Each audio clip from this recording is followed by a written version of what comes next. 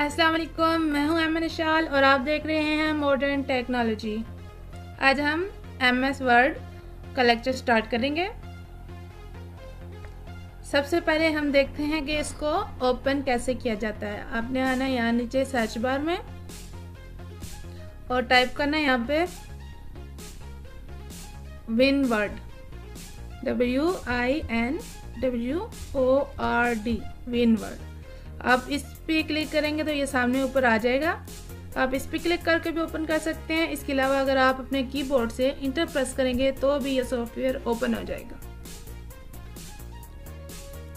अगर आप इसको फर्दर क्लोज करके एक और मेथड से ओपन करना चाहें तो आप दूसरे मेथड से भी ओपन कर सकते हैं। मैं आपको सामने इसको क्लोज करती हूँ।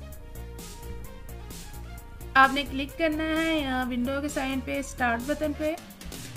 आप इस पर क्लिक करेंगे, यहाँ पे आपके कंप्यूटर में जितने भी सॉफ्टवेयर और प्रोग्राम्स मौजूद हैं, वो यहाँ पे सब शो हो जाएँगे। आपने यहाँ से एम एस वर्ड को ओपन करना है। मैं यहाँ पे एम एस ऑफ़िस पे क्लिक करूँगी। तो यहाँ पे आप देखें एम एस वर्ड 2013 लिखा हुआ है, इस पर आप जैसे डबल क्लिक करेंगे तो ये एम एस वर्ड आपके सामने ओपन हो जाएगा।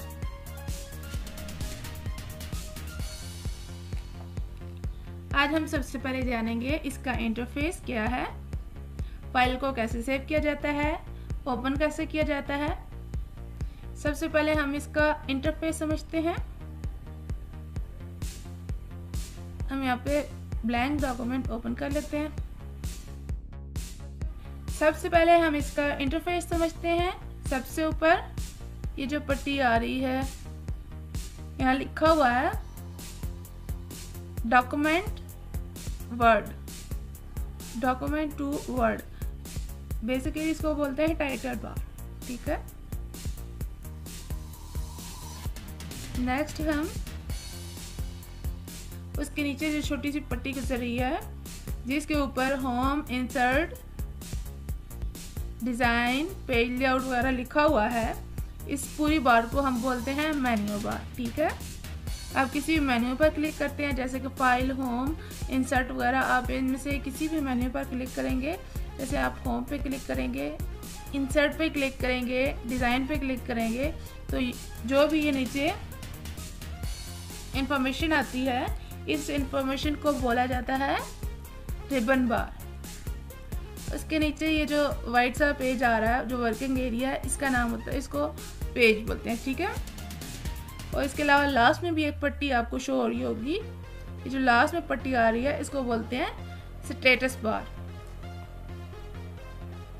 आज हमने इंटरफेस के बाद जो सबसे पहला काम हमने सीखना है, वो है एम एस वर्ड के अंदर जो होम मेन्यू हमने सीखा है, ठीक है? ये जो आप देख रहे हैं सामने होम मेन्यू ये होम मेन्यू है, हमने आज ये सीखना है।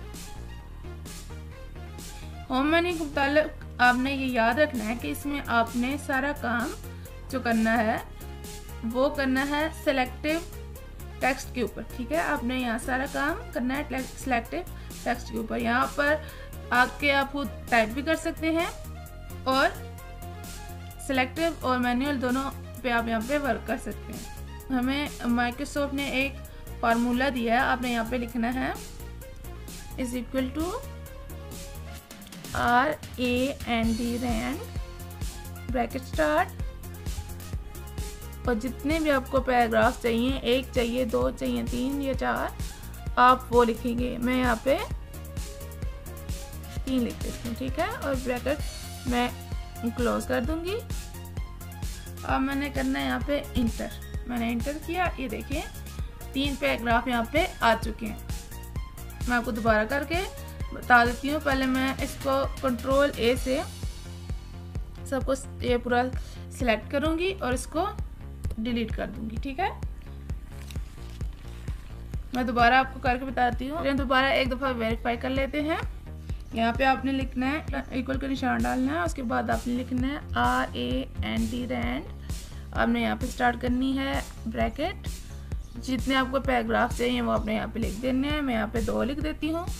और मैं कर देती हूँ इसको ब्रैकेट को क्लोज। अब मैं कर दूँगी इसको इंटर। देखिए, यहाँ पे दो पैराग्राफ आ चुके हैं। ये माइक्रोसॉफ्ट की तरफ़ से एक फार्मूला है, ठीक है? आप इस तरह टाइप करके यहाँ पे पैराग्राफ लेके आ सकते हैं। अब आप इस फ़ाइल को सेव करना चाहते हैं तो आपने इसको सेव कैसे करना है? आपने लेफ़्ट साइड पर टॉप पर देखें, लिखा आ रहा है ऑफ़िस बटन इस पर क्लिक करना है। और यहाँ नीचे आ जाना है आपने सेव पे क्लिक करना है। यहाँ आप कौन से जिस फोल्डर में सेव करना चाहते हैं, उस पर आपने क्लिक कर लेना मैं यहाँ पे डॉक्यूमेंट्स पे क्लिक कर लेती हूँ।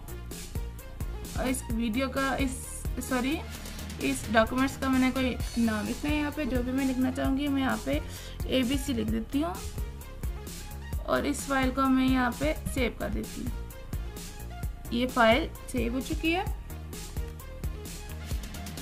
अब इस फ़ाइल को मैं क्लोज कर देती हूँ। वही फ़ाइल अगर मैं दोबारा ओपन करना चाहूँ तो मैं कैसे करूँगी? सॉफ्टवेयर को दोबारा ओपन करना है। यहाँ पे मैं लिखती हूँ विनवर्ड ठीक है? और इस पर क्लिक कर देती हूँ। एम एस वर्ड ओपन हो रहा है। अब हम अगर वही फ़ाइल ओपन करना चाहें तो हम कैसे करेंगे?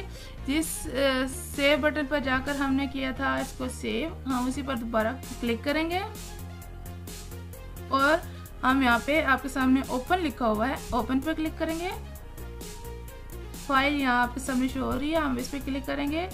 तो हमारी फ़ाइल ये दोबारा यहीं पे ओपन हो जाएगी। कोई भी प्रीवियस फ़ाइल जिसको हमने एडिट करना है, उसको हम इस तरीके से ओपन कर सकते हैं। ये एक मेथड था। इसके अलावा हम दूसरा मेथड भी यूज़ कर सकते हैं। अगर आपको पता है कि आपने फ़ाइल किस जगह पर सेव की है तो आपने सिंपली उस जगह पर जाना है, यानी कि आपने डॉक्यूमेंट्स में जाना है।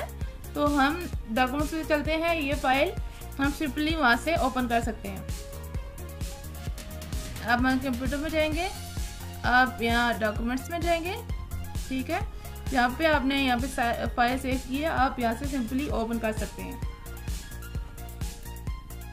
आज हमने बिल्कुल बेसिक चीज़ें सीखी हैं कि टेक्स्ट किस तरह लाना है, हमने फ़ाइल को सेव किस तरह करना है और उसको रीओपन किस तरह करना है। अगर आपको इस लेक्चर में किसी भी चीज़ की समझ नहीं आई तो आप मुझसे कांटेक्ट कर सकते हैं और कुछ भी पूछ सकते हैं। तो व्यूवर्स आज का काम सिर्फ़ इतना ही। नेक्स्ट वीडियो में फिर मिलते हैं तब तक के लिए अल्लाह